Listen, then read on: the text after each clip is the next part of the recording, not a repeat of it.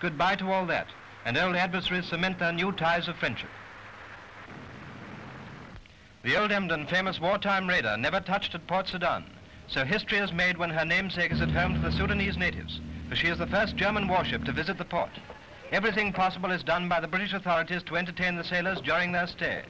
Their own band goes ashore to aid the festivities, and a football match is played between the local athletic club and the man of war's team.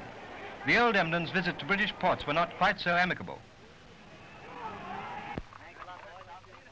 The rumors were true. She is marrying again.